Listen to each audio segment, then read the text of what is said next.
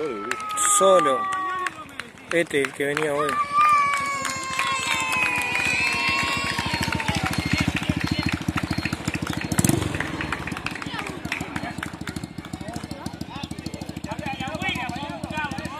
Le sacaron 10 minutos. Se quemó la pierna.